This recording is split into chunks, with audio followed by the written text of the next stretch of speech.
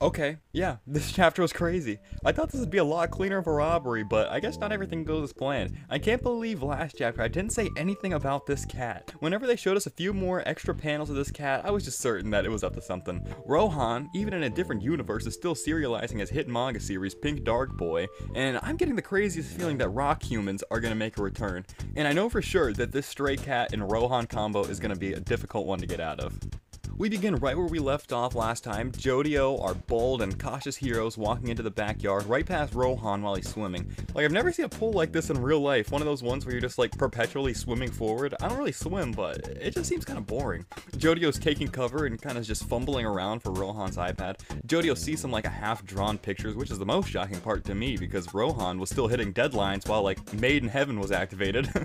Rohan's also drawing digitally now, so I guess that's pretty cool. I wonder if once Rohan finds out that Jodio's peeked at his manga if they're gonna be in trouble. Just like the first time that we ran into Rohan. But I think if that was the case, I think Heaven's Door would have just activated immediately. So Dragon stand gets us through the first locks of the house, and the other guys are just standing guard, Paco and Usagi. And it doesn't take us too long to make it in. Smooth Operators just gets in and out and does his job. And now, what's the first thing we do? Drag says we only need the diamond, and not to steal anything we don't need to. So he looks over and sees Usagi and Paco just filling their pockets to the brim. For some reason, Usagi thinks that the safe for the diamond would be hidden behind this wallpaper that has this sketch on the wall, so he just snips it down, like some safe's actually gonna be behind it. And then we make it into Rohan's little office space, or his little workstation, and this is where it starts to get really weird. There's test tubes everywhere, and there's chunks of cooled lava literally scattered everywhere in the room, like some madman. But why would Rohan have all this stuff? They assume that maybe he's got all these rocks and all these pictures of lava just for inspiration for the manga. Usagi knows a little bit about these flasks and that they're used to heat or cool substances, which is concerning because he probably isn't using these for any of the right reasons because he's on drugs. but I'm so curious on why these cool pieces of lava have any significance at all. But I really think this has something to do with rock people. Trying to find something more to go off of, I'm just looking at the wiki for rock humans, just for some more reasons why this would be the case. So I'm just gonna paraphrase some of what's on the wiki here. So it says rock humans are silicone-based organisms, unlike humans which are carbon-based. And I just looked up silicone, and yeah, this shit looks like volcanic rocks. But then I looked up volcanic silicon because I don't know what, where the fuck silicon comes from, and this is what it says. So I found that volcanic silica does exist. The molecule formed from silicon and oxygen is the basic building block of volcanic rocks and the most important factor of controlling the fluidity of magma. So yes, silicon is literally the building block for volcanic rocks. And rock people, like the exact same.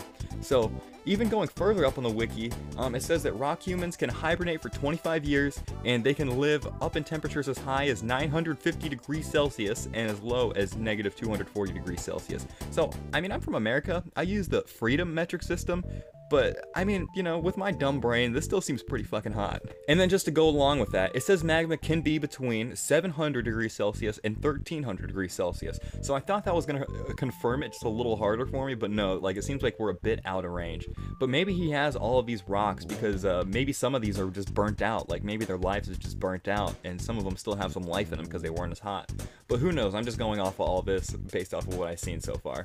But yeah, I will die on this hill right now that rock humans exist and this is it right here. This is them being introduced to us in part 9, for sure. Jodio's still sitting outside behind Rohan's chair, and he's just scrolling through Rohan's iPad's camera roll, and then he sees a puppy, and since the dog ain't here, he assumes that he left it with his editor for his manga. I mean, that's probably what a Rocky does. But yeah, anyways, the cat is still here, and there's no way that it's Rohan's, because why wouldn't he just left it with his editor, you know? But the cat makes its way inside somehow, and now that's what the cause for concern is, because Rohan's coming in, and because he has no idea what this cat's doing here, Jodio says over the mic that we should just give up for now and try again later, but he doesn't realize that we're in a manga, and things just don't work out like that. Rohan steps inside just knowing that something is up, and I think just for a distraction, Jodio makes it rain just a bit over Rohan's iPad and his journal and stuff. It does buy some time because Rohan walks back out for just a second, but then it puts him even more on edge because I think he knows that something is up, and I'm pretty sure at this point he's definitely aware that it's some sort of stand attack.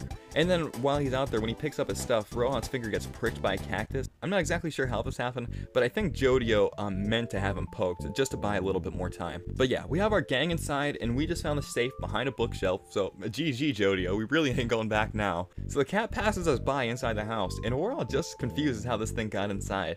But it doesn't take long for us to get the diamond in our hands. Smooth operators can just bypass any lock without any problem it seems. And oddly enough, inside the safe is another rock. So yeah, if these things didn't seem important, well yeah, now you know they are. After the cat walks past our boys, it starts to get weird for real.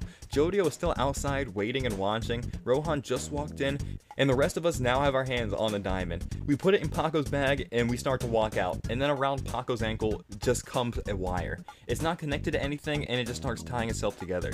But then Drag also gets hit by the wire, and then Usagi dodges it, so he's the only one, him and Jody are the only guys not being strangled right now by this rope or whatever. And there's no way this is Rohan's ability right now, but this also isn't Rohan's cat, so this random cat is just trying to stop us, I guess? So it ends with Rohan just really on edge because all of his stuff outside was targeted. He has a cactus thorn in his finger, and some random stray cat is now in his home. I mean, at least Rohan can think that the cat is what destroyed his wallpaper once he goes in. But yeah, Rohan definitely knows this is a stand attack at this point, and next chapter we're gonna see just how he goes about this 1 versus 4 versus cat situation. yeah, I really hope this rock human, rock organism thing turns out to be what I'm thinking. I have no clue what's up with this cat. I really just want to know what it's doing here. Usagi is already showing that he's a bit smarter than what you'd expect, and I'm excited to see everyone stand in like a real actual combat situation. Yeah, because up until this point, we've just fought in a bunch of cops and standless humans. but yeah, that's about it for the chapter. I'll be here in a month for the next one, and until then, I'll still be dropping random anime manga stuff. I'm speedrunning, recording, and editing this video just to get it out as timely as I can, so I hope it's still enjoyable. Come catch me live sometime. I was playing Pokemon the other day, and it was a lot more fun than I thought it would have been. Leave a like, subscribe for more. See you next time. Have a great day.